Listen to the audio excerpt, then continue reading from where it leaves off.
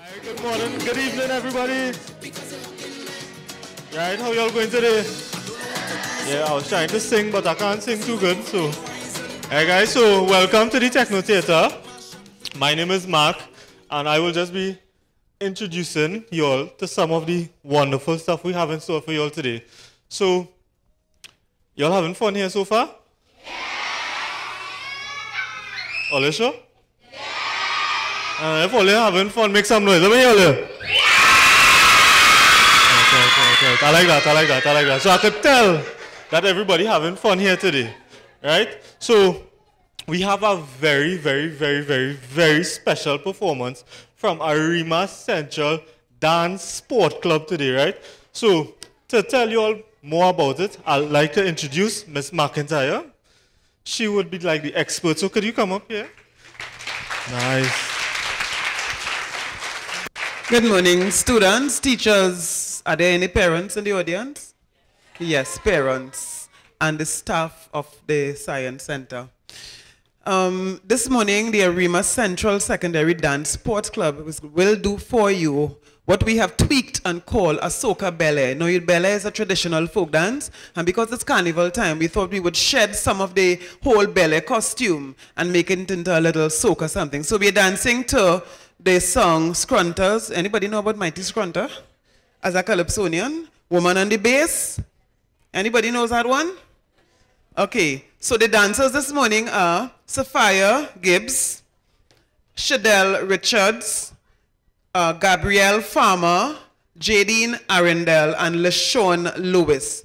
Please give them a lusty round of welcome. Okay. DJ. Take it up a little, please.